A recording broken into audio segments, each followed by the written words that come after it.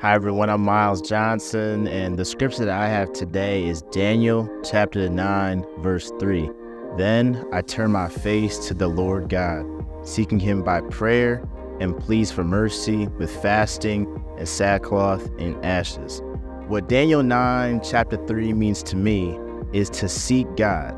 Don't seek your friends, don't seek validation from other people, but seek Him. And when you're going through a storm, you can lean on Him to get you out.